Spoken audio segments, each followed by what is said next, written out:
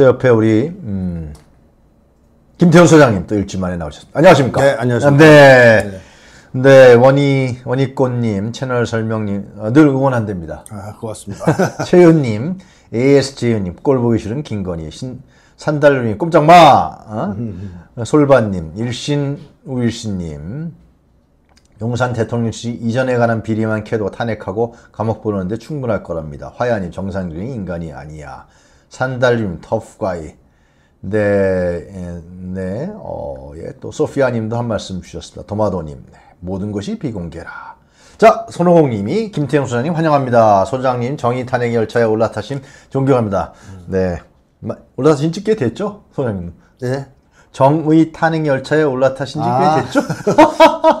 전 당선되기 전부터. 그 맞아요, 맞아요. 손호공님이 감사드립니다. 지식인들의 참모습입니다. 존경합니다. 네, 서매가인. 자, 네. 인사부터 하시죠. 안녕하십니까? 네, 안녕하십니까. 자, 오늘 우리 투장님한테 제가 부탁드린 게 두 가지 주제인데요. 첫, 첫 번째로 이준숙인가? 예. 그, 그분 얘기부터 좀 할까요? 아, 네. 네, 이게 뭐 방통위원장 김홍일 위원장 6개월 만에 튀고 이제 이준숙이라는 사람을 MBC 안에 기자했고 뭐 어디 방송사 뭐 지방 MBC 사장까지 했다 그러는데 네, 네. 이 사람은 어떤 사람이에요, 도대체? 뭐, 출신으로 보면, 네, 자기는 언론인 출신이라고 얘기하지만, 네, 사실 한국을 대표하는 음. 어영 언론인이라고 해야 마땅하겠죠. 네, 그래서 사실 음. 이 MBC 기자들은 이번에 이분이 임명되자마자 네. 공영방송을 망가뜨리고 음. 동료를 탄압하는데 앞장섰던 사람이다. 오, 그래서 뭐 MBC 음. 흑역사의 상징 과 같은 인물이다. MBC 기자회에서도 제명됐던 사람이죠. 그래서- 넌 당신은 기자가 아니야. 네, 너는 제- 기자가 아니야. 제명했습니다. 제명했죠. 야, 네. 치욕적인 거네 아주. 음. 그러니까 이런 이제 사람이기 때문에 네. 일단 뭐 사실 언론인이라고 볼 수 없고 네. 거꾸로 언론을 정부에 갖다 바치는 음. 이제 부역자 음. 내지는 뭐 어영 언론인의 이제 대표적인 인물이다 이렇게 이제 봐야 되겠죠. 네. 음. 근데 이 이진숙이라는 사람이 이번에 당, 방통위원장 지명된 다, 다음에 기자회견 했잖아요. 음, 뭐라 그랬습니까? 뭐 당선되면서 음. 거기서 나오는 여러 가지 얘기들이 있는데 핵심은 이런 게 있습니다. 바이든 날리면 같은 보도는 최소한의 보도 준칙도 무시한 보도라고 할 수 있다. 이러면서 몇 가지를 찝었어요. 어. 어, 뭐 이러면서 예. 어, 선, 쉽게 하면 선전포고를 했습니다. 선전포고를 했어요. 뭐 사실 그렇다고 봐야죠. 어, 어, 어. 처음에 보통 당선되면 임명되면 음. 그 전임 두 명이 방송 장악을 하려고 음. 임명되었다. 네. 그래서 뭐 그런 우려 속에서 사실 음. 쫓겨난 거 아닙니까? 네. 그럼 세 번째로 들어오는 사람은 음. 좀 달래야 됐잖아요. 상대방. 달라야죠. 처음에 이동관, 김홍일, 그다음에 네. 이준숙인데. 그러니까 아. 뭐 나중에 어떤 짓을 하든 음. 임명된 직후에는 네. 음. 뭐 음. 나는 공정하게 하겠다라든가 어. 뭐 이런 정도 또 소감을 밝히면 되는데 네. 거의 거기서 뭐 윤석열 정권을 그대로 대변하면서 음. 자기의 어떤 극우적인 어떤 입장을 막 피력을 했단 말입니다. 네네. 이제 거기서 네. 이제 날리면까지 나온 건데 그 얘기하는 과정에 음. 이런 걸 보면은 거의 뭐 한번 싸워보자 아, 싸워보자. 이런 걸 표명한 거거든요. 등장부터 음. 이제 이런 걸 봐도 이 사람이 얼마나 심각한 그 문제가 있는 네. 언론인인가 이걸 언론인이라고 할 수 없겠죠. 네. 사람인지 알 수 있는 것이고 음, 네. 이 사람의 과거 전력 중에 그 유명한 게 세월호 보도가 있습니다. 세월호요. 세월호 보도 음. 참사라고 이제 할 수 있는데 MBC 뉴스 보도본부장으로 있었던 때가 2014년이거든요. 그때면은 세월호 터졌을 때죠. 박근혜 때죠, 그죠? 맞습니다. 물론 그리고 예. 이제 김재철인가 그 양반이 사장으로 있을 맞습니다. 거예요. 이제 그 밑에서 딸랑거릴 때인데 음. 그때 4월 16일 날 이 세월호 참사가 터졌을 때 저도 기억이 나요. 그 지방에 강의하러 갔는데 뉴스에서 세월호 사건이 터지면서 네. 배가 뒤집혔다 뭐 이런 얘기를 들었어요. 그래서 아 이거 어떻게 되지 걱정했는데 전원 구조 단원고 전원 구조가 떴어요. 속보로. MBC에서요. 네, 그래가지고 안심하고 강의에 들어갔었죠. 어, 아, 뭐, 어, 다, 다, 다 구조했다니까. 예, 그렇죠. 아, 뭐 안심하고 음. 나와 보니까 이게 상황이 또 완전히 달라졌더라고요. 네, 어. 그래서 아, 도대체 어떤 놈들이 그런 말도 안 되는 오보를 냈냐. 네. 그랬는데 그게 바로 이제 MBC였던 거 아닙니까? 이 사람이 보도본부. 보도본부장 할 때. 어. 그래서 이게 의도가 있는지 없는지는 알 수 없으나 어쨌든 최악의 참사, 세월호 보도 참사라고 할수또 있죠. 조사했어야 되는 문제네, 그죠? 아니 그 확인만 했었어도 그럼 말도 안 아니 되는. 끝나고 나서 왜 이진숙이라는 아 맞습니다. 그 왜. 그랬는지 그렇죠. 의도가 무엇인지 그래서 만약에 세월호 특검 같은 게 제대로 됐으면 맞아요. 이, 이 사람도 그때 어떻게 됐어야죠. 뭐, 소장님도 잘 아시겠습니다만 일제 시대라든가 나치 하에서의 그 지식인들이 네네. 이 이런 식으로 언론인 지식인들이 했던 부분에 대해서 프랑스 같은 경우는 완전히 사용시키고 그랬던 걸 알고 있어요. 사용시. 엄청나게 사용시켰습니다. 참 네네. 나쁜 그 짓들이거든. 어. 그래서 그나마 프랑스가 그나마 민족 정기를 회복할 수 있었던 거 아니겠습니까? 음. 네네. 강력한 처벌을 통해서. 예. 이 사람이 또 그날 저녁에 무슨 짓을 했냐면요. 예. 오보를 내고 나서 인명피해가 났을 경우 한 사람당 최고 3억 5천만 원, 총, 총 1억 달러 한도 배상할 수 있도록 한국 해운조합 해운공제에 가입돼 있다. 이런 딱 보도를 했어요. 그날 저녁에. 일단 프레임을 바꾸는구나. 바꾸는 거죠. 음, 그러니까 뉴스의 초점을 구조가 아니라 보상 쪽으로. 음, 그럼 뭐 이게 줘도 된다는 얘기입니까? 여기 가입돼 있으니까. 말도 안 되는 짓거리를 한 거죠. 네네. 그날 저녁에는 정말 학생들이 거기 갇혀 있을 때 아니에요. 맞아요. 그럼, 예. 아, 이거- 서서히 가라앉고 있는 네. 상황이었잖아요. 어, 그럼 최대한 어떻게든 구조를 할 수. 있는 쪽으로 방송을 잡고 음. 국민들의 어떤 뜻을 모았어야 되는 시점인데 네. 구조와 관련된 방송이 아니라 음. 보상과 관련된 방송을 그날 저녁에 당일에 했다는 것이죠. 그러고 나서도 이후에 계속 그런 짓, 그 이상한 짓들을 했는데 네. 어, 그 이광욱 씨라고 있지 않습니까? 민간 잠수사. 아, 예, 예, 예. 예. 구조 활동 기억납니다. 세월호. 네, 네, 네. 음. 이분이 돌아가셨는데 거기에 대해서 이 사람이 이 조급증 때문이라고 했다는 거예요. 어, 이런 뉴스를 내보냈어요. 음. 이 보도본부장 시절에. 네, 네. 그래서 MBC 내부에서도 그 당시에 이제 사상 최악의 보도다. 이렇게 지적을 받았었죠. 음. 그리고 6월 19일 그때 돼서 이런 보도를 누가 했냐 도대체 보도 책임자 해명을 들어야 되겠다 음. 해가지고 열린 방송문화진흥회가 회의가 있었는데 예. 이때도 이 이진숙이 골- 황당한 얘기를 하죠. 뭐라 그럽니까? 또? 참사 책임은 청해진 해운이 가장 잘못했고 음. 정부의 대응 안전 의식에 소홀했던 국민의 책임이다. 그래서 무슨 일이나 일이 일만 생기면 기관이나 정부의 책임을 묻는 풍경이 잘못됐다 이런 식으로 야, 대단한 국민들한테 대단한 사람이구만. 음. 맞습니다.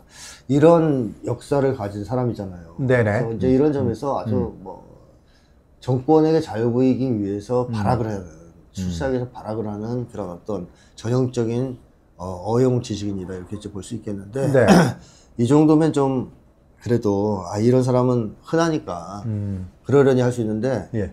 이 사람이 완전 그 꼴, 꼴통입니다. 그, 그 꼴통 이에요. 예. 어떤 점에서 그렇게 생각하십니까, 심리학 아, 뭐 근거가 있습니다. 네. 이분이 음. 예를 들면 고 이용마 기자가 있어요. MB, 언론, MBC. MBC. 그거 잘 아실 거예요. 네, 그럼요. 예. 이런 핵심 간부들 음. MBC에 이런 반 사람들을 트로이컷이라는 프로그램 이용해서 불법 사찰하다 걸려가지고 대법원에서 손해배상 판결을 받았습니다. 네. 그러니까 노조를 이렇게 탄압했다는 건데 음. 왜 그런 식으로 탄압했냐면 그거 좌파라고 보는 겁니다.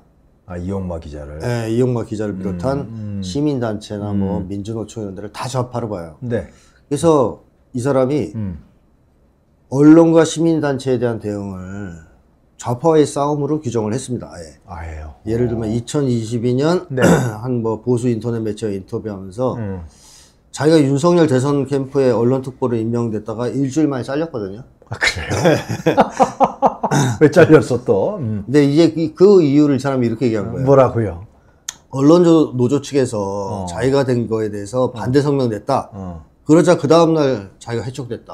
아. 그러면서 나처럼 홀 단신으로 전사처럼 싸운 사람을 물러나게 해서야 음. 앞으로 누가 앞장서서 좌파 언론 노조와 음. 민주노총에 맞서 싸울 수 있겠네 이런 얘기를 합니다. 그러니까 한마디로 자기가 좌파들에 의해서 음. 밀려났다. 그래서 윤석열 정부가 거기 구라 어, 압력을 받아서 날 자른 거 아니냐. 아. 그래서 나 같은 전사를 왜 자르냐. 그 당시 대선이니까 여론을 의식해서 윤석열 캠프에서 잘랐구만. 음. 그것도 그런데 이 사람이 예. 이 언론 특보로 임명된 다음에 예. 캠프 윤석열 캠프 기조와 다른 걸 자꾸 냈대요. 뭐 어떤 걸 냈어요 또? 그건 정확하게 모르겠어요. 근데 기조가 좀 달랐다는 거예요. 아. 그러니까 뭐 윤석열 캠프는 그 당시 좀 조심하려 그랬을 수 있죠. 아무래도 대선이 있으니까. 대선을 앞에 두고 음, 그렇지. 그러니까 너무 극구적인 발언 그렇지. 같은 거는 음. 좀 조심하려 그랬을 텐데 이 사람 지 이제 꼴리는 대로 쉽게 얘기하면 꼴통 이 발언들 을 계속 한 거죠. 아. 그러니까 야, 얘안 되겠다. 안. 되겠다. 얘 큰일 났다. 그래 잘린 거거든요. 어. 어, 자기가 잘못해놓고 어. 이 이제 언론 노조 탓을 하는 거고 이제 언론 노조를 다 좌파로 이렇게 지칭하고 있지 않습니까? 음. 네네. 네. 그리고 이런 것에서 넘어서서 예. 이 일배 수준에 거의 달하는 인식도 보여주거든요. 그래요. 음. 그러니까 전라도 혐오 발언 이제 홍어족이라고 있습니다. 아, 호남 사람들한테. 호남 사람들은 홍어 그거 아주 저건데. 홍어 맛있는데요. 근데 어쨌든 홍어족이라고 음. 일베 쪽에서 욕하잖아요. 맞아요. 네, 그리고 5.18 광주 민주운동 혹은 뭐 민중항쟁을 광주 사태로 표현한다 그래서 사람들 일베 사람들이 사태 이렇게 쉽게 하면 간첩들이 배후 조정해서 일어난 폭동 비슷하게 이렇게 묘사하는 단어인데 네네. 한마디로 이제 혐오 발언이죠. 음. 이런 글이 이제 막 써 있는 SNS에 이 사람이 가서 좋아요 눌러가지고 논란이 된 경우도 있어요. 좋아요를 눌렀어요. 거기 확 좋아요. 자 이게 실수가 아니라는 것은 네. 그 뒤에도 계속 나옵니다. 예. 아, 작년 12월 페이스북에서는 영화 서울의 봄에 관련, 봄과 관련해서 이렇게 얘기를 했죠. 네. 전두광이라고 쓰고 전두환으로 읽는다. 대놓고 자막으로 반란군으로 못을 박는다면서 이것은 바이든 날리면을 자막으로 조작했던 것처럼 한 것이다. 뭐 이런 식으로. 그 영화를 네, 그 영화를 그렇게 폄하했습니다. 그 천만 넘게 봤는데. 네. 그리고 어. 과거 기밀 기류의 김대중이라는 다큐 영화 예. 예, 예, 예, 예. 좌파 진지를 공고히 다질 촉매가 될 것이다. 이 정도 되면 이 사람이 굉장히 심각한 극우 성향을 가진 꼴통이다. 잘 뭐든지 상식적으로나 현상을 제대로 못 보는 사람이네. 네, 그렇습니다. 물론 윤석열 정도 이런 사람이 많이 있지만 음. 이 사람도 만만치 않다. 그러네요. 라는 것이죠. 어. 게다가 뭐 이 사람은 당연히 네. 윤석열 정권과 맥을 같이 하다 보니까 음. 극우 쪽과 뉴라이트 친일파입니다. 심한. 친일파예요? 또? 그렇죠. 뭐 또? 예를 들면 음. 지난 4월 10일 총선 있었던 네. 총선에서 나경원 후보를 응원했단 말이에요. 어, 그랬어요. 이 사람이. 음. 근데 페북에다가 음. 민주당의 나경원 대표만큼 애국자였으면 나와봐라. 일본은 현재 한국과 자유주의 동맹국이다. 뭐 이렇게. 그 얼마 총선 때요? 네. 얼마 안 돼, 전이네. 네, 얼마 전에. 그러니까 이게 나경원 후보가 그 옛날에 자위대 훌, 그 무슨 행사에 참가하고 맞아요. 친일행각을 계속 했잖아요. 맞아요. 어. 그래서 어, 나베라는 별명도 있었어요. 맞아요. 아, 이 이재명 대표도 그 얘기 썼었죠. 나베. 음. 예, 아베랑 이제 나경원 합쳐가지고. 음. 그랬더니 이 사람은 이제 역으로 어, 일본은 우리 자유주의 동맹국인데 음. 나경원이 얼마나 훌륭한 애국자인데 그러냐. 이 정도면 거의 이제 뉴라이트급의 음. 친일파라고 봐야 되겠죠. 네. 그러면서 이제 뭐 음. 이승만도 칭찬하고 박정희도 칭찬하고 전두환 노태우 칭찬하면서. 에, 그 뒤에 맥을 잇고 역사를 바로 쓰는 게 윤석열 대통령이다. 이렇게 이제 그런 걸 누가 썼는데 어. 거기에 답을 달았습니다. 맞는 말씀. 맞는 말씀이라고. 어. 네. 그리고 그 네. 음. 국내 종북좌파 연구자들 추정 세력을 국가보안법으로 때려잡지 못한다는 표현, 그 페이스북 글이 있었는데 여기에 대해서 댓글에 음. 네. 저도 같은 생각을 할 때가 많다. 그러니까 이제 아주 심각한 이 사람이 음. 극우 꼴통에다가 뭐 친일파라는 걸 알 수 있죠. 근데 이 정도는 윤석열 정권에 많이 있어요. 많이 있어요? 많이 쳐 이런 사람들은 이런 정도의 인식을 가진 사람은 세고 셌죠. 세고 셌어요? 예, 일- 그래서 윤석열 정권은 뭐 일배 정권이라고 하는 건데요. 네. 음. 이 이진숙은 음. 여기서 한술 더 뜹니다, 약간. 그 윤석열급으로 이제 올라가는 게 바로 음모론 신봉자라는 겁니다. 그래요. 네, 이게 또 이제 심각한 문제인데 윤석열이 이번에 음모론을 믿었다 그래가지고 이태원. 예, 심각한 논란이 됐지 않습니까? 네. 음. 이준식은 더해요. 아니, 거의 비슷하다고 볼 수 있겠죠. 왜냐하면 이 사람이 세월호 참사가 북한 공작으로 일어났다. 이런 글이 그런 얘기를 했어요? 아니 그건 한게 아니고 그 글이 있었는데 네. 거기에 댓글에 또 좋아요 눌렀습니다.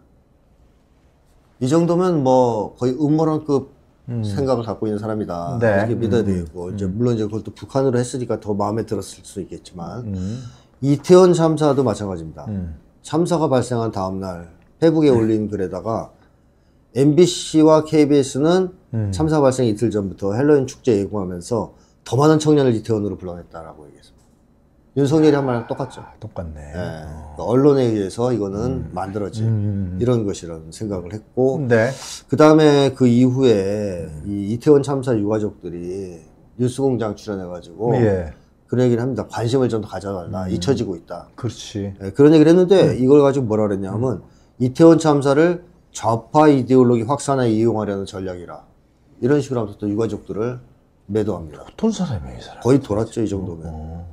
그러면서 2023년 3월 18일 페북에는 이런 글을 썼어요. 좌파들은 선전선동에 강하다. 이태원 참사 전 헬로윈 축제를 예고 홍보했던 MBC 예. 보도가 그한 가지 사례다. 음. 그러면서 이 마지막 말이 악번입니다. 좌파 시민단체, 좌파 언론의 뒤에는 대한민국을 뒤엎으려는 기획자들이 있을 것이다. 그건 또 누구야? 음모죠. 음모로. 뭐 이제 이세, 이준숙이 생각하기엔 그게 뭐 이재명일 수도 있고 대표일 수도 있고 누구일 수도 있겠지만 네. 뭐 지하에 잠복한 뭐 간첩 세력일 수도 있겠지만 어쨌든 이준숙은 모든 걸 그렇게 보는 거예요. 음모론적 시각에서. 야.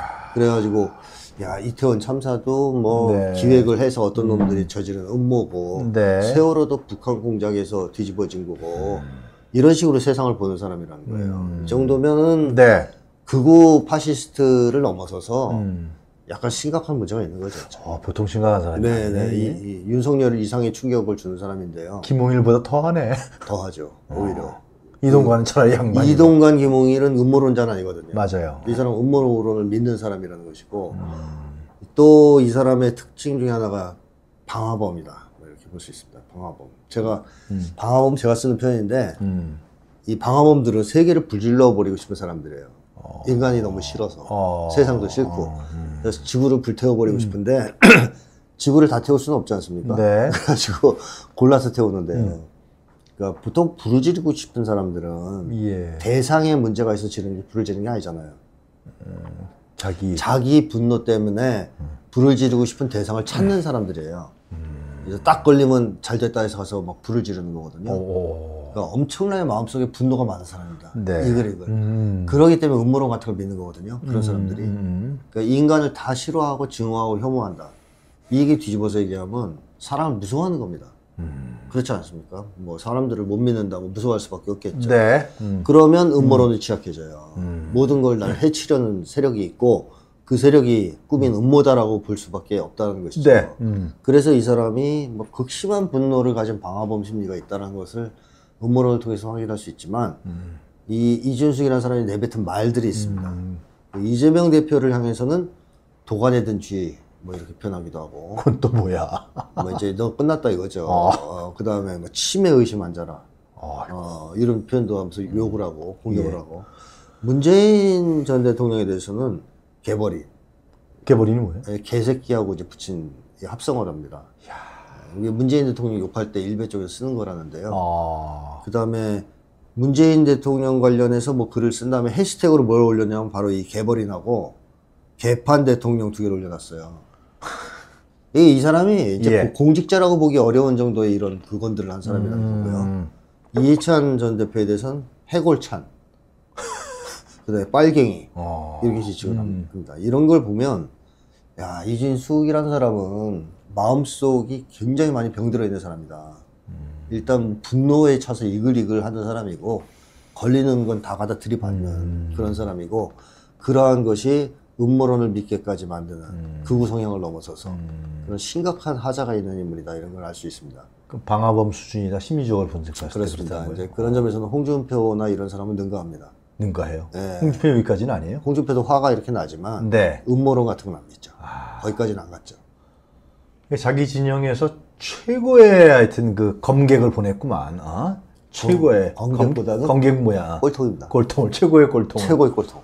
예, 어느 정도 꼴통이냐 하면 윤석열 캠프에도 적응을 못할 정도의 꼴통이 꼴통이었다. 아, 그 쫓겨났지. 쫓겨났잖아요. 그러니까 이 사람이 눈치가 좀 있고 음. 사회성이 좀 있고 네. 뭐 주변을 좀 맞출 줄 아는 사람이라면 윤석열 캠프에 채용됐으면 그렇지. 어, 그쪽에서 도대체 어떤 식의 논평을 원하는지를 그렇지. 알고 어. 파악하고 맞춰서 했어야죠. 그렇죠. 예. 근데 어. 지 맘대로 짓거리다가 일주일 만에 쫓겨났어. 잘린 거 아닙니까?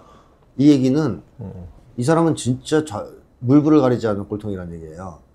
쉽게 얘기하면 나쁜 놈들, 윤석열 패거리들이 음. 모여도 이준수 오면 아, 막 이렇게 하는 거 있잖아요. 아우, 저 꼴통 저거, 아, 막 이게. 그런 정도의 지금 사람이라는 거거든요. 아. 사실 쓰고 싶지 않았을 수 있어요. 근데 왜 왜 쓴 거예요? 윤석열을 방통위원장에 왜 안 친 거예요? 일단 방송 장악을 해야 되는데 음. 총선에서 패배를 또 했다는 말입니다. 그렇죠. 그럼 윤석열은 많이 장악을 했지만 음. 아직 부족하구나. 음. 더 장악을 해야 되겠다 이런 생각을 할 거 아닙니까? 근데 이런 상황에서 이제 또 속도를 내야 되는 상황인데 음. 날라갔잖아요. 이번에 김- 김홍일이 김홍일이 도망갔잖아요. 어, 또, 또 튀었어. 탄핵하자 튀었잖아요. 그러니까. 어, 탄핵하니까. 그래서 아, 이 방송 장악을 계속 해야 되는데 이걸 해줄 수 있는 사람이 누가 있지? 웬만한 사람 갖고 안 되겠구나. 안 되죠. 두 명이나 날라갔는데. 게다가 초기 임기 초반도 아니고요. 지금 레임덕 아닙니까? 음. 그렇죠. 총선에 예, 참패한 예, 거예요. 예. 음. 누가 그걸 하겠어요? 아무리 얘기해도 물론 착한 사람을 부르지는 않겠죠. 음. 나쁜 짓 할 사람을 뭘 부르, 부르는 건데 야 좀 할래 그러면 아막 이럴 거 아니야 다. 맞아, 다 그러겠죠. 누가 그걸 한다 어, 그랬어요. 어, 이준수 가서 아 걔? 뭐 이제 아 없냐 걔밖에 그러면 어. 그 정도 말고 누가 하겠습니까? 어. 아, 그래 그럼 걔라도 시켜라 걔가 뭐 꼴통 짓은 잘하지 않냐 이래서 탈춤을 출 사람을 어. 물색했는데 없다 보니까 예. 결국 이진숙을 쓸 수밖에 없었던 거 아니냐 음. 그래서 이진숙 같은 꼴통 아니면 할 수 없는 역할 음. 또 이진숙 같은 꼴통 아니면 맞지 않는 상황이었다 네. 지금 아. 상황이 그래서 이진숙 말고는 할 사람이 없었다 이렇게 보는 게 맞을 것 같습니다 그래서 이제 MBC 방문진 이사들 다 교체하고 네. 공모해서 자기 똘마니들 앉히고 네. MBC 사장 교체하고 그 다음에 MBC를 장악해 들어가겠다. 그럼 천하평정이 된다. 맞습니다 그렇게 보는 거죠 그럼 그 이준석이라는 사람은 누가 추천했을까요? 그건 뭐 우리 소장님 레이더에는 안 걸립니까? 네, 안 걸렸습니다. 그건 뭐. 저는 그런 쪽은 잘 몰라서. 음. 이진숙이 보면은 이렇게 인화력 같은 게 없는 사람이잖아요. 그렇죠. 어, 그래서 자꾸 떨어지는 게 있어요. 중요한 순간마다. 뭐요? 어, 뭐 예를 들어 국회의원 나가려다가 진다든가 아 그랬어 이 사람? 네, 그랬던 얘기가 있습니다. 어. MBC 사장에 도전했다 졌다든가 어. 자꾸 이제 안 돼요 뭐가. 그러니까 이 사람은 아주 클 사람은 아니에요. 음. 아주 크려면 좀 비비기도 하고 그래야 되는데 그렇지. 이제 응. 그런 거 없고 막 꼴통에다가 자기도 알지 않을까? 방통위원장 또 몇 개월 하다 또 탄핵하려 그러면 도망가고 그래야 된다는 거 모르나? 그런 정도의 이제 영리함이 없는 사람 같습니다. 여태까지 살아온 이력을 보니까 네. 그냥 자기 마음대로 자기가 화가 너무나 있으니까 음, 예. 갖다 그냥 들이받는 거죠. 뭐 좌파니까 다 때려잡아 뭐 이건 음모야 뭐 이런 식으로 그냥 난리를 치는 사람. 근데 사실은 그곳 세력 내에서도 만약 합리적 보수 성향이 강한 그 정부였다 네, 네. 그럼 이준숙 같은 사람 발을 붙이기 좀 어려워요. 이런 사람은 그러니까 윤석열 정권이니까 이런 사람이 여기서 살아남아서 이번에 방통위장까지 되는 겁니다. 이게 그럼 한판 전쟁이 벌어지겠네요. 대단한 아, 전쟁이. 뭐 이번에 임명되자마자 선전포고를 했기 때문에 네, 이 청문회 때- 청문회도 네. 요식조차를 걸칠 거 아니에요 또? 그렇습니다. 그래서 뭐 청문회에서도 싸움 벌어지겠죠. 그러겠네. 이 사람 가만히 있을 사람 아니거든요. 음. 생 난리를 칠 거고요. 음. 그 과정에서 국민들은 이진숙은 절대 안 된다라고 생각하겠지만 그러나 또 윤석열은 아, 또 임명하겠죠. 네, 어. 그런 상황. 그럼 또 탄핵하겠죠. 뭐 그러면 이제 이준식은 도망을 갈지는 모르겠어요, 이 사람은. 아, 난 안 가. 에, 버틸 수 있습니다. 좀. 앞에 사람들과. 이제 MBC 그럼 노동조합에서 파업에 들어가지 않겠습니까? MBC 노조는 싸울 거라 그러더라고. 네, 싸워야죠. 네. 어, 이 사람이 MBC의 원, 원수예요. MBC 사람들한테는 아주 그냥 그 시기하면 한이 맺혀 있는 사람. MBC, 예, 그렇지. 예, MBC 옛날 언론 노조 파업하고 그럴 때 음. 엄청나게 탄압을 했던 사람 아닙니까? 그래서 그 당시 서울에서도 그랬고 나중에 지방에 가서도 음. 그런 짓을 해가지고 대법에서 이번에 다 졌, 법원에서 다 졌어요. 네. 어, 언론 노조, 노조 탄압을 해가지고. 그러니까 이 사람은 무리하게 하는 거예요. 일을. 그런 거 보면. 아, 나는 꼴통이다. 그러니까 꼴통답게 노, 한다. 노조 탄압을 해도 어. 법에 안 걸린 선에서 적당히 하고 이런 게 그렇죠. 아니고 어. 그냥 불법으로 다 해버린 거예요, 그냥 막. 그러니까 자기가 분에 못 이겨서 음. 그 순간순간 음. 충동적인 행동을 하는 사람이다. 이렇게 봐도 무방하겠죠. MBC 노조 관계자분들 우리 김태형 소장님 얘기 좀 잘 들으셔야겠네. 이 대응 전략이 나와야겠네. 뭐 익히 알고 있으실 것 아, 같습니다. 더, 더 잘 알겠지. 예, 겪어봤으니까. 응, 겪어봤으니까. 아. 저보다 더잘알 겁니다. 네. 하여튼, 아, 아유, 갈수록, 이게 보면 갈수록 더 윤석열 정권이 갈수록 극단화되는 것 같고요. 네. 갈수록 갈 때까지 가는 것 같아요. 이- 이렇게 이준석이라는 사람을 방통위 원장에 앉히는 거 보면은. 근데 또 한편에 이렇게 생각할 수도 있죠. 네. 이제 진짜 임명할 사람이 없구나. 갖다 쓸 인간이 진짜 없구나. 그러니까 인재풀이 바닥났고 음, 윤 정권에 가는 사람이 거의 없구나. 이것도 알 수 있는 거죠. 아, 그러네요. 저런 어, 이 막, 막박 어, 막판에 달한 음, 막장. 어, 막장. 막장에 달한 사람 저런 사람을 쓰는 거 보니까 음. 아이 정권이 상당히 지금 어렵구나 이런 것도 알 수 있는 거죠. 이준석보다 더 막장은 없다 이거죠. 뭐 없. 그건 알 수는 없지, 뭐. 아니, 아니 뭐 이제 동물을 갖다 쓰면 되, 되긴 돼요. 동물을. 개 이런 거 앉혀놓고. 아, 그럼 또 개 키우는 분들이 또 아, 이거 안 되지. 뭐라 또. 하셔요. 안 되지. 네, 예, 개보다 예. 못하다 얘는 그거 뭐 안- 이렇게 그렇죠. 어, 저도 예. 개 키우는 사람으로서 아, 그 키우세요? 네. 어, 예. 우리 개가 더 잘할 것 같긴 합니다. 예. 이진숙보다. 자, 그 우리 저 김건희 얘기 좀 할까요? 이게 지금 뭐 여러 가지 분석을 소장님 하시겠지만 하셨겠지만 한동훈 김건희 문자 파문. 음. 네. 그러면서 이 김건희가 여러 가지 해석이 있을 수 있는데 네. 이 소장님 해석부터 좀 들어볼까요? 어떻게 보시는지. 예. 에, 이 지금 한동훈이 당 대표가 되는 거 네. 이것이 윤석열과 김건희한테 뭘 의미하느냐. 음. 그래서 뭐 소극적으로 얘기하면 음. 우리한테 댐비고 개겼던 놈 한마디로 이제 열받아서 삶아 먹고 싶은 놈이 어. 당 대표가 되는 거 배 아파서 못 보겠다 어. 하는 측면도 있죠 소극적으로는. 아, 네, 네. 거기에 끝나는 문- 그것으로 끝나는 문제가 아닙니다. 음. 왜냐하면 윤석열과 김건희는 상당한 정도의 위기식이 있을 거란 말이에요. 지금 상황, 있겠죠. 흘러가는 상황을 봤을 때. 탄핵 청원이 100만이 넘어버렸는데. 총선도 졌고 어, 뭐. 이겼다고 어, 뭐 정신 승리는 했지만 사실 참패했고 지금 분위기가 심상치 않잖아요. 네. 이 상황에서 음. 한동훈이가 당대표에 당선이 된다. 음. 그러면 어떤 일이 벌어질까? 한동훈은 윤석열을 칠 수밖에 없겠죠. 살아야 되니까 지가. 그렇죠. 자기가 살아야 되니까. 음. 그리고 오늘날 저는 한국에서 이 보수 대연합을 추진하는 시도가 가시화되고 있다고 보거든요. 아, 그래요. 예, 전에부터 나왔던 얘기인데. 예, 그때는 이낙연이가 아, 이낙연이 있었어. 얘기했었죠. 어. 이낙연을 넣어서 한동훈, 이낙연 뭐 이준석 이렇게 뭐야. 음. 묶으려고 그랬었다. 네네. 그 날라갔잖아요. 날라갔지. 네, 총선으로. 맞죠. 그럼 이제 2차 시도를 해야 되는데 예. 어. 어쨌든 윤석열은 날라갈 가능성이 있어요. 음. 그리고 지, 자기들의 필요에 따라서 날릴 수도 있습니다. 도저히 안 되겠다 싶으면 네. 날릴 수도 있습니다. 윤석열 날라간 다음에 대안이 있어야 되는데요. 인물이 마땅치 않은 거죠. 그러면 한동훈은 일단 필요하고요. 일단 필요합니까? 일단 필요하죠. 한동훈은 주축이죠. 국힘당에서 윤석열 날린 다음에 뭐 아, 한동훈이 뛰어나서가 아니고 음. 없어서 그래요. 그 날리는 역할을 한동훈이도 맡고. 맡기도 해야 되고 어. 이후도 책임져야 되고 음. 한동훈은 워낙 애가 비리비리하고 자기들이 보기에도 어쩔 수 없어 선택한 사람이니까 이것만으로는 안 되거든요. 그럼 이준석 끌어들여야 되고 음. 이준석 끌어들이겠지. 그다음에 민주당 내에서 상당 부분 끌어들여야 됩니다. 아, 뭐 누군지 제가 막 찍어서 말할 수는 없습니다만 민주당에서 갈 사람이 있을까? 모르지 그건 알 수 없는 거지 뭐. 분위기가 고조되고 음. 윤석열 날아간다고 보면 예를 들면 뭐 명예로운 퇴진을 보장하고 음. 개헌 같은 거를 합의하자. 이래서 보수대납을 꾸릴 수도 있는 거예요. 아, 그러니까 그런 흐름이 조성되고 있다. 한국 사회에서. 음, 저는 윤석열이나 김건희도 그 정도 감은 잡을 것 같아요. 알겠죠. 흐름상. 음, 야, 우리를 날리고 저것들이 차기로 세울 주축 중에 하나가 한동훈이다. 한동훈이다. 이런 생각 할 거 아닙니까? 그럼 그걸 막으려면 어떻게 됩니까? 한동훈의 당대표 당선부터 저지해야죠. 음. 그러니까 이제 급한 거예요. 아 급한 거야. 그래서 조급증이 발동하는 거야. 그렇죠. 아, 이제 부- 발등에 불 떨어진 거예요. 불뜨기 떨어진 거야. 아, 이거 그냥 수수방관하고 놔뒀다가 음. 한동훈이 당대표 되면 우리 밟을 것 같은데, 작살낼 것 같은데. 그게 제일 무섭지 사실. 예. 그러면서 우리를 날리고 그 차후에 뭐 자기들끼리 꿍짝꿍짝해서 보수대납 하려는 거 아니야? 어. 그럼 우리는 뭐지? 뭐 이렇게. 감옥 가야지. 아, 우리 다 죽는데? 음. 이건 있을 수 없는 일이죠. 그렇기 때문에 아마 제 생각에는 이번에 아주 밟아버리려고 아주 길을 쓰고 있어요. 아예. 예. 오. 그러니까 뭐 감옥에 넣고 그러진 못하겠죠. 네. 그러나 적어도 당 대표에서 또 나- 낙마시킴으로써 음. 총선에서 패배했고요. 네. 당 대표에서 떨어지고 나면 한동훈은 좀 어렵잖아요. 어렵지. 미래가. 음, 맞아요. 그러니까 이제 그런 색으로 해서 정치 생명을 끊어버리겠다. 아. 이게 김건희 쪽의 생각 아니냐 음. 그런 생각이 들거든요. 아, 아. 거기에 이제 앞잡이로 원희룡 원희룡이 나, 나온 거예요. 그렇습니다. 신나게 떠들어대는 거 원희룡이. 맞습니다. 신났죠. 어. 그러니까 뭐 이제 드디어 지원 사격이 오는구나. 원희룡과 한동훈 싸움으로 딱 프레임을 짜버리는구나. 그렇죠. 아. 아. 그리고 이제 한동훈 배신자 프레임 세운, 씌우는 거죠. 음. 그럼 한동훈이가 좀 용감하면요. 네. 이 상황에서 공개하면 돼요. 문자를. 공개하면 되지. 그거 굉장히 길다 그러더라고. 네, 기가 다 공개하면 돼요. 다 공개하면 그럼 김건희만 세 대거든요.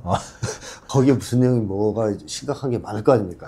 김건희 성정을 봤을 때 아. 그렇게 간단하게 그렇게 멋지게 표현했을 것 같지 않단 말이에요. 내가 뭐 사과하겠다 그런 얘기 안 했을 거야. 뭐 구구절절히 뭐 하면서 착착 거야. 그랬을 수도 있고, 뭐, 그죠. 뭐, 별의별 게다 있었을 가능성이 있어요. 그러면 이거 까면 돼요. 물론 이제 그 내용 중에 자기한테 불리한 내용도 있을 수 있어요. 네. 음. 너 옛날에 내 신발 닦은 놈이 이런 짓을 할 수 있는 거 이런 게 있을 수도 있어요. 그렇죠. 그럼 어. 쪽팔리죠. 그래서 공개를 안 할 수 있겠지만 어. 그냥 공개하고 털어버리면 돼요. 음. 그러니까 지금 공개하라고 그러잖아요. 공개하라 그러죠. 예, 공개하라고 압박을 받고 있는데 못 하잖아요. 음. 그러니까 한동훈이가 그런 데서 좀 찌질한 게 있다는 것이고 음. 또 또는 뒤집어서 얘기하면 네. 김건희가 그 문자를 보낼 때는 그런 흠 잡힐 걸 집어넣지 않고 고도로 계산된 문자를 보냈을 수도 있죠. 문자 문자를 한번 당했으니까. 네, 이런 때 써먹으려고 아 이미 네, 그 당시에 이제 김건희를 막 쳤잖아요. 한동훈 쪽에서. 맞아요. 마, 마리 앙 마리 앙뚜아네트다 뭐 해갖고. 어. 분위기 안 좋을 때 아닙니까? 음. 그럼 전화로는 뭐 심한 얘기들이 오갔다는 얘기가 있습니다. 김건희가 직접 한동훈한테 전화했을 때는 좀 심한 얘기를 했다는 얘기가 있어요. 근데 갑자기 문자는 또 그왜 보내? 흔한 문자가 온 거죠. 사과할 용의가 있다는. 어. 그럼 한동훈이 딱 이게 봐도 얘가 이제 눈치밥으로 인생을 살아온 사람인데 느낌이 올 거 아니에요. 네. 이 문자에 의도가 있다 이거.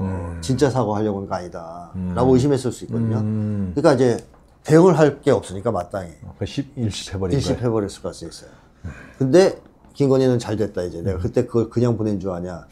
이럴 때 써먹으려고 보낸 거지. 아. 그렇다면 고도로 정제된 문자를 보냈을 가능성도 있는 거죠. 음. 진짜로 그런 문자 보냈을 수도 있는 거예요. 네. 사과하겠다. 아, 아. 용의가 있다. 근데 한동훈은 그 당시에 흐, 흐름상 믿을 수 없었던 거고 어. 이걸 내가 받아서 또 괜히 했다가는 걸려들 것 같다 애들한테 아. 이래서 그걸 씹었을 수 있는데 아. 김건희는 이제 그걸 이용해서 네. 이번에 터트렸을 수 있죠. 그럼 한동훈 공개하기 힘들어요.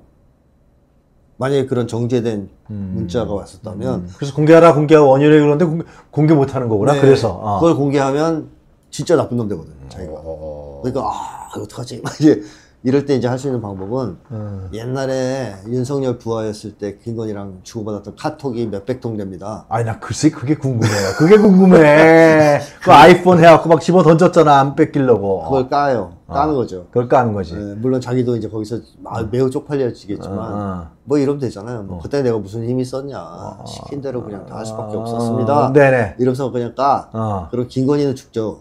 김현 주고. 거기서 뭐- 아, 김건희, 윤석열 다 거기서 뭐가 나오겠습니까? 오만 가지 나오고. 오만 가지 다 나오겠지. 네, 네. 아. 자 그런 짓을 하면 이제 좋을 텐데 뭐 한동훈이 그 정도의 배심은 없으니까. 아. 막판에 몰리면 또 모르죠. 비번 풀지도.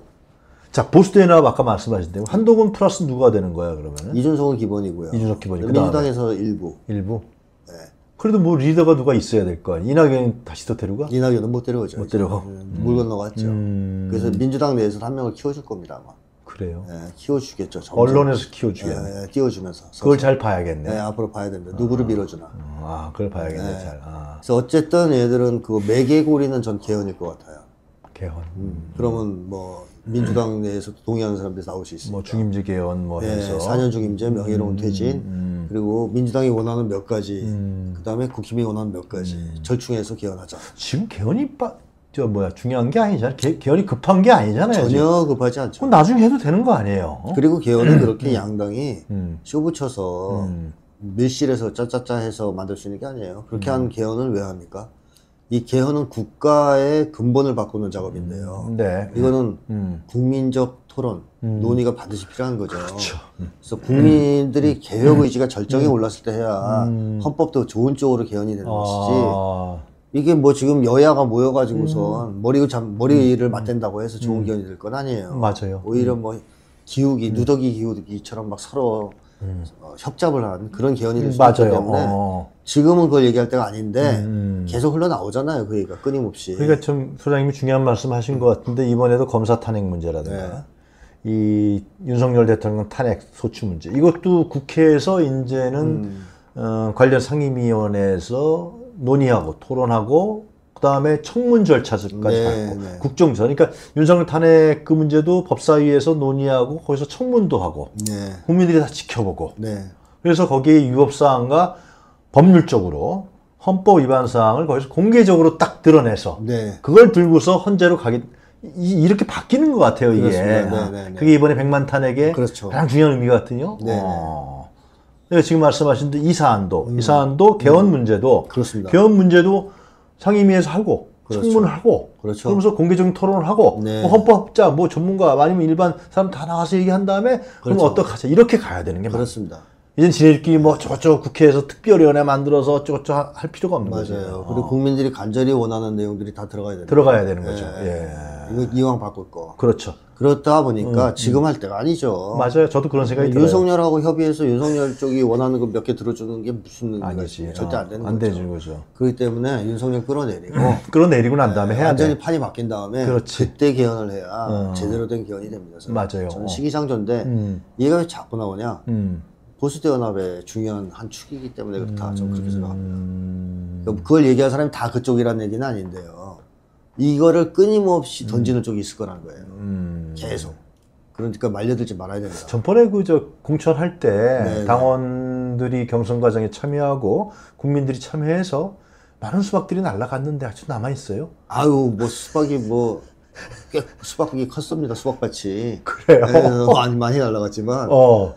그리고 민주당이 아. 진짜 이번에 공천이 100% 개혁적인 인물로 다 된 건 아니거든, 그렇죠. 아니고. 상당수는 됐지만. 네, 상당수는 됐지만. 음. 그러니까 과거보다 상대적으로 좋아졌다는 것이지. 네. 뭐 개혁 정당으로 탈바꿈했다 이렇게 볼 수는 없어요. 음. 그러니까 국회의장에서도 음, 그런 일이 발생하고 그런 일이 발생한 거 아니겠습니까? 음. 그래서 진정으로 민주당이 혁신이 되려면 네. 어떻게 보면 지금 당원 민주주의를 지금 이재명 대표가 실현하려고 하지 않습니까? 네. 음. 그런 것들이 성 과를 거두고 완전히 정착되고 음. 그 다음에 또 한국 사회도 많이 바뀌어서 어, 사익 추구형보다 공익 추구형이 좀 많아지는 세상이 되고 이럴 때쯤에 진정한 의미에서 개혁 정당이 될 수 있지 음. 지금은 아직은 아니다. 네. 그래서 국민들이 계속 지켜보고 음. 또 못하면 혼도 내주고 음. 이럴 필요가 있는 거죠 지금.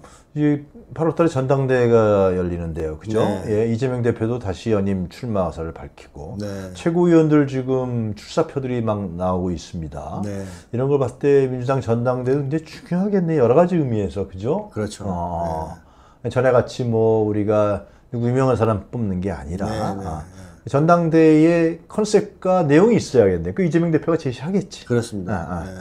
그래서 거기에 막 맞춰서 전당대회를 해야 된다 생각이 드네요. 네. 그렇죠. 국가 위기 상황이니까 아, 지금은 그렇죠. 뭐 맞아요. 거의 전시 체제급으로 꾸려야 돼요. 비상시국이에요. 네, 비상시국. 저 윤석열 언제 꼴을 할지 몰라. 네, 무슨 짓 할지 모르죠. 무슨 짓 할지 모르고. 지금 뭐 오늘도 안 그래도 좀 오다 보니까 또 예. 북의 김여정 부부장이 또 발표했던데 뭐라고요? 계속 전쟁 접경 지역에서 하- 하는데 어. 이건 인내 한계를 넘고 있다 이런 식으로 지금 경고를 또 했단 말이죠. 네. 그러니까 윤석열 음. 제가 계속 얘기하지만 사고 칠 가능성이 높다라고 얘기하지 않습니까? 그 얘기 계속 하셨지. 네, 음. 그러니까 지금 계속 그런 게 지속되다 보니까 북에서 경고 성명을 좀 냈단 말이죠. 이런 식으로 한반도 상황을 음. 극단적으로 끌고 가서 전쟁의 도화선에 불을 지를 가능성이 있어요. 자, 근데 언제 오늘 오늘 네. 오늘 저희 갔나요? 미국에 나토 정상회 아, 참석하러? 이제 네. 다 떠났을 겁니다. 예. 아, 떠났어요. 예, 거의 한 열흘 정도. 아, 열흘은 아니고 음. 나토 정상회의에 연 세 번째 참석한다 그러더라고. 네, 이번에는 거기 하와이, 예, 그 인도 태평양 사령부 미국 네, 거기도 네. 간답니다. 아, 그래요? 거기 들렸다 간답니다. 거기 들렸다 간대? 예. 지가 뭔데 거기 가서? 거기 이제 윤석열이가 좀 불안해하잖아요. 음. 북한과 러시아가 음. 지금 조약도 새로 맺었고 음. 뭐 자동 군사 개입 네. 조약에 따라서 뭐 시끄러웠지 않습니까? 예, 예. 아무래도 불안할 거 아니에요. 그래서 지금 윤석열 정권 내에서도 극우 세력 내에서도 자체 핵무장 얘기가 또 나오고 막 그러잖아요. 맞아요. 음. 윤석열이 딴 건 모르겠는데 핵은 조금 무서워하는 것 같습니다. 그러니까 북쪽에 대해서 아, 북쪽에 대해서. 아, 저 새끼들 저거 아무것도 아니야. 형님들이 다 손봐줄 거야. 이렇게 어. 생각을 하는데 딱 한 가지. 핵무기가 있잖아, 쟤네들. 그럼. 그건 어떡하지? 음, 근데 형님들이 핵무기로 우리를 지켜줄까? 전혀 아니지. 그거에 대해서는 또 의심이 많은 사람이니까. 의심이 많아. 어, 거기서 이제 윤석열이 취임 어. 초에 네. 핵무기, 자체 핵무장 얘기를 했단 말이에요. 그러다가 이제 미국한테 엄청 혼났잖아요. 혼났지. 에이, 너입 다물어라, 이 자식아. 음. 죽는다, 너. 이러니까 이제 입 딱 다물었거든요. 여전히 불안해요, 윤석열은. 네. 그래서 그러면 미국 저기 가기 전에 하와이 들렸다 가는 거예요? 그래서 윤석열을 안심시켜주기 위해서 미국이 아, 만든 게 있어요. 그 뭐예요? 심리 치료 방법이 있어요. 그 배 탑승 쿠폰입니다. 아, 저번에도 어디선가 했는데 거, 거진가. 잠수함 잠수함, 한번 어. 탔었죠. 어, 맞아요. 네, 그래서 어. 이거 쳐다보고선 이제 이제 우리는 자, 뭐, 뭐 자신 있어. 어. 다잘 될 거야. 어. 기분 좋아졌잖아요. 어. 또 불안해. 얼마 전에 항공모함 태워줬어요 또. 그래요. 부산에 들어온 거. 거기 또 타가지고 기분 좋게 왔다 갔다 해서 아 이제 안심이 돼. 근데 어. 얼마 안 간 거야 이게 자꾸 약발이. 어. 그러니까 또 태워줘야 돼 어디. 아. 이거 아예 이제 사령부 보여줄게. 아, 사람 보여줄게. 인도 걱정하지 마. 사령부. 아. 어 걱정하지 마. 걱정하지 마. 어, 우리가 시킨 거 잘해야 돼. 어. 라임 일이나 잘 처리해 이 자식아. 뭐 이런 아. 식으로 이제. 그래서 인태 사령부를 아마 들릴 가능성이 들린다 그러고요. 아. 그러고 나서 나토로 넘어가는 건데 어. 지금 이 나토에 윤석열이 목을 거는 이유 중에 하나는 네. 미국이 시켜서이기도 하지만 음. 자기 입장에서는 음. 자기 목숨줄이 좀 간당간당한 상황 아닙니까? 네. 국내에서 보면 음. 음. 탄핵 분위기가 고조되고 있기 때문에 그럼요. 음. 자 이런 상황에서 윤석열이 누구한테 매달리겠습니까? 음. 국민들한테 매달릴 수는 없는 것이고 네. 형님들밖에 없어요. 음. 그 형님들 만나러 가야 됩니다. 음. 그래서 형님들한테 가서 음. 네. 저좀 살려주세요. 음. 저 쓸모가 아직 있습니다. 이런 걸 계속 얘기하려 하겠죠. 그리고 미국 입장에서도 지금 패권이 추락하고 있는 상황에서 네. 한마디로 미국이 하는 일은 딱 그겁니다. 음. 전 세계에 있는 똘마니들 다 모아라. 우리가 지금 힘이 없어서 음. 지금 단독으로 미국, 러시아하고 붙지도 못하는 상황인데 아 우리 힘으로 모아봤대 지금 여기저기 분쟁 지역이 많은데 그러니까 다 끌고 모아서 네. 연합하자. 아, 똘마니 이론은 그러면 윤석열이야? 똘마니 중에 이제 일부가 윤석열이 당연히 들어가는 것이죠. 아. 그러니까 나토가 미국의 유럽 똘만이라면 네. 이 동아시아 똘만이는 한일이거든요. 아, 그렇지. 아. 그다음에 거기에 호주와 뉴질랜드가 들어갑니다. 음. 그래서 이제 보통 네 나라를 PI4 이렇게 이제 부르는데 음. 이 나라 이거를 제가 네. 볼 때는 나토랑 합쳐버리려는 것 같아요, 미국이. 자기 마음대로 될까? 어, 근데 이 정도 합치는 건 할 수 있죠. 그래요. 왜냐하면 나토가 반대할 이유가 없거든요. 음. 나토 입장에서는 이 아시아의 4개국, 특히 한국, 음. 이 자기들한테 들어오는 건 좋아요. 왜 좋아, 좋냐면 우크라이나 전 지원에 지금 한계를 보이고 있습니다. 음.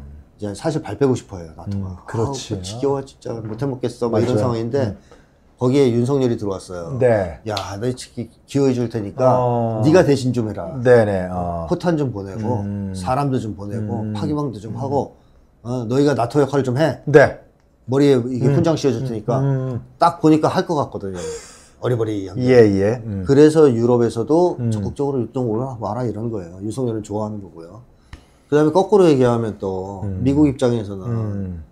북한이나 중국이나 러시아를 막아야 되는데 이 동아시아에서 이게 막기가 만만치 않잖아요. 세 나라가 다 어, 강하니까. 어, 어. 그래서 한일 동맹을 만들었는데 음. 거기에 호주, 뉴질랜드까지 나왔는데 이것도 불안한 거예요. 어. 나토 너희도 와. 아. 와가지고 너희도 같이 해 여기서. 싸울 때는 같이 싸워야 돼. 음. 그래서 요즘에 이쪽에서 훈련할 때 계속 나토가 참여합니다. 글쎄 그 얘기 저도 들었어요. 네네네. 이제 이런 식으로 이제 묶으려고 하는 작업을 치는 거예요. 네. 근데 여기에 윤석열이 기어 들어가는 건데요. 음. 문제는 이거죠. 우리 국민들 입장에서 보면 이 윤석열이 나토에 가서 사진 찍고 해불적 하면서 좋아한다는 것은 우리나라가 그만큼 더 우크라이나 분쟁에 깊숙이 개입하게 될 가능성이 높아진다는 걸 의미하는 거죠. 즉, 거기 가서 사진 찍고 사진값 내야 될 거 아닙니까? 그렇지. 그러면 야, 이번에는 얼마 줄 거야, 우크라이나에. 음. 그리고 또 정말 불리해진다. 예. 그럼 어떻게 하겠어요? 음. 파병해 그럴 수도 있는 겁니다. 그럼 윤석열이가 또, 아, 절대 안 이럴 사람입니까? 네. 음. 좋습니다. 뭐 이러면서 할, 할 사람이죠. 그러니까 우리가 쓸데없이 우크라이나 네. 전에 음. 돈도 지출해야 되지만 음. 심각한 경우에는 전쟁이 아예 당사국으로 밀- 말려 들어갈 가능성이 있다. 네. 음. 근데 북러 조약에 의하면 그렇게 될 경우 러시아는 자동으로 그 침공을 받은 거 아니에요. 한국의 침공을. 그러면 북한이 한국을 공격할 가능성이 높아지죠. 그 조약 때문에.